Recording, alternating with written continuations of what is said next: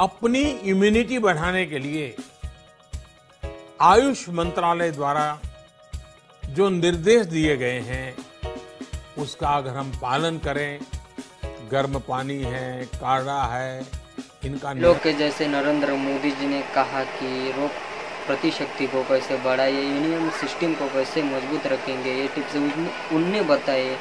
तो भाई लोग, मेरे चैनल में कुछ ऐसे पाँच जो आपके डेली रूटीन में इम्यून सिस्टम या रोग प्रतिशक्ति को बढ़ाने में या मज़बूत रखने में कैसे मदद करेंगे?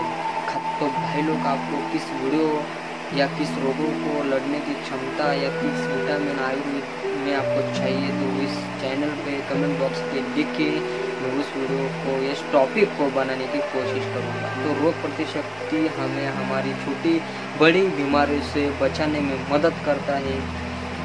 तो भाई लोग इम्यून सिस्टम या शरीर हमारा जो है तंदुरुस्त है तो आप पहला फ़ायदा सुनिए चौक जाए। इसका पहला फ़ायदा है ग्रीन टी और ब्लड टी दोनों ही इम्यून सिस्टम या रोग प्रतिशक्ता के लिए फ़ायदेमंद होते हैं, लेकिन एक एक दिन में उसको से दो कप ही ज़्यादा मात्रा में सेवन करना चाहिए।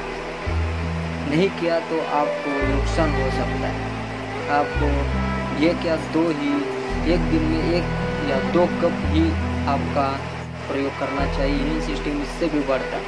तो दूसरा, कच्चा लहसुन खाने से भी इम्यून सिस्टम बढ़ाई जा सकती है। भाई लोग, आप चौक जाएँगे। कच्चा लहसुन खाने से भी रोग प्रति क्षमता जो बेस्ट करने में सहायक होते हैं, जिसमें पर्याप्त मात्रा में एलिसिन एलिमसिन जिंक सल्फ़र हिलियम और विटामिन इसका विटामिन कच्चा लहसुन में भी पाया जाता है। आपको कच्चा लहसुन जो है खाने में बहुत ही अलग तरह लगेगा और उसका बास बहुत ही गंदा मारता है वालों तो आपको बास ना मारने के लिए आपको दो या तीन तुलसी के पान छमाना चाहिए, बास नहीं मारेगा। और लहसुन विटामिन की मात्रा को कंट्रोल करता है और लहसुन हीलियम जिंक सल्फ़र सेली सेलियम और विटामिन ए बी ई बढ़ाने में सहयोग करता है। तीसरा, दही।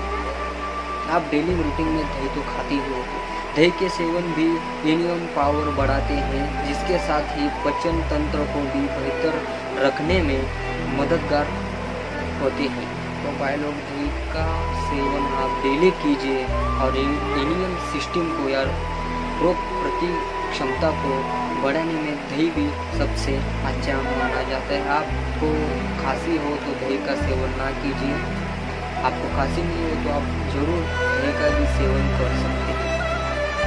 चौथा फ़ायदा इसका है, ओडिसी।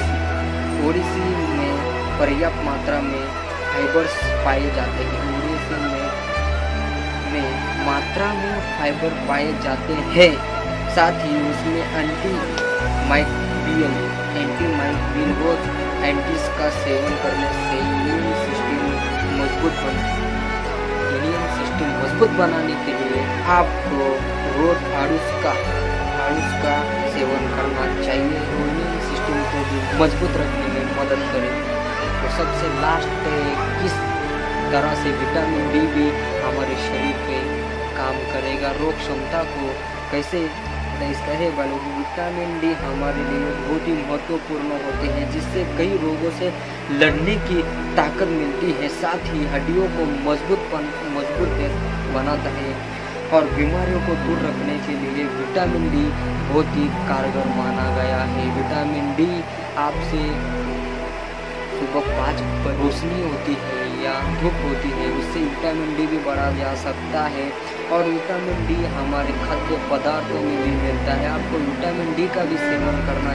चाहिए और अपने शरीर को रोग प्रति क्षमता से बचाना चाहिए। और नए डॉक्टर लोग कहते हैं तो हमारे डेली रूटीन में आप ये फ़ायदे या पाँच ऐसे कुछ सेवन कीजिए, आपकी इम्यून सिस्टम बढ़ेगी, आसानी से बढ़ बढ़ेगी वो भी तो भाई लोग, बस इतना ही मेरे चैनल में और